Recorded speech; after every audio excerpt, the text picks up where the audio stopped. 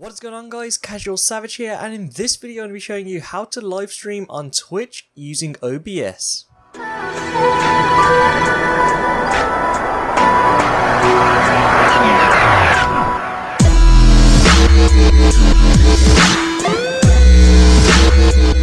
Now just before I get into this video, if you'd like to request a tutorial, then be sure to leave it in the comments below or ask me on Twitter. Now if you haven't followed my OBS tutorials yet, then you can check them out in the description. Basically what I've shown so far is installing OBS, whether it's classic or whether it's studio. I've shown you getting started with OBS and now and then I've also shown you how to add your face cam in OBS. So I'm trying to do it in an order where you are able to follow and it will progress into a better live stream for you. So as you can see I have OBS opened up right now and it is showing my second monitor where I have Google opened.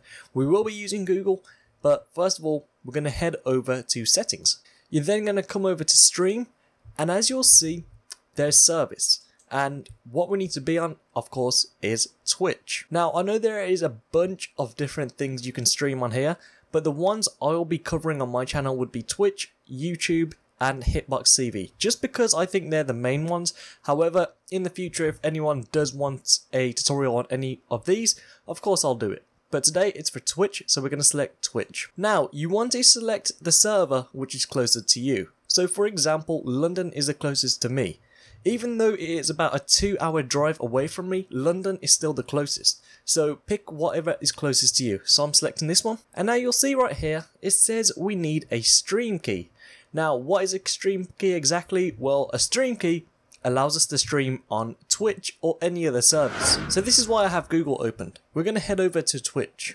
A link to it will be in the description. Now, I'm actually going to be showing you how to create an account on Twitch. If you already have an account, then you can skip ahead to the timestamp on the screen right now. Okay, so for those that don't know how to set up a Twitch, first of all, come up to sign up. You're going to be presented with this box, just make a username.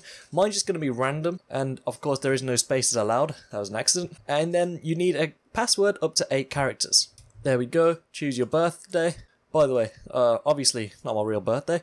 And then an email, make sure it's a real email, this way if anything happens to your account in the future, you're able to get it back. But for me, I'm just going to make a random one just because this is an example and I'm going to be showing you the stream key and select I'm not a robot. Now to select sign up. Just like that, you are now signed up to Twitch and now you need to come over to your name and select dashboard. Then you'll see over here it says stream key. So select stream key and now show key is what you'll be selecting. Now as you'll see you'll get a warning here, never share your stream key with anyone or show it on stream. Twitch staff, admins or global moderators will never ask you for this information. So basically if you give out your key, people can take over your streams and stream using your key. So make sure you never show it. Again, I've just created this account, it's a random account because I'll just show it you.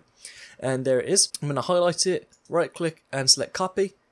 And of course you can reset the key if you do accidentally show it sometime. Now we head back over to OBS and where it says stream key, we just right click and paste it in. You can also show it if you want to, or just keep it hidden. Select apply and OK. Now, I'm actually going to be on Twitch, streaming Twitch using OBS. So we're all good to go. All we need to do is select start streaming. So if I start streaming, we're now live. As you can see, it's asking us to stop streaming, but we're not going to stop streaming. So if I head over to our, or my channel page that I've just created right now, you'll see we're going to be streaming um, OBS. Oh, we're going to be streaming Twitch.